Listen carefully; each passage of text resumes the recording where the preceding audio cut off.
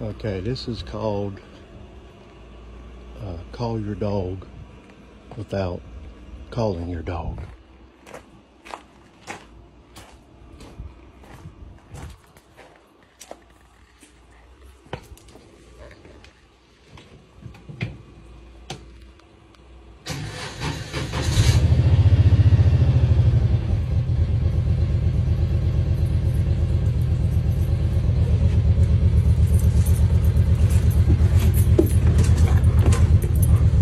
Okay. Ready?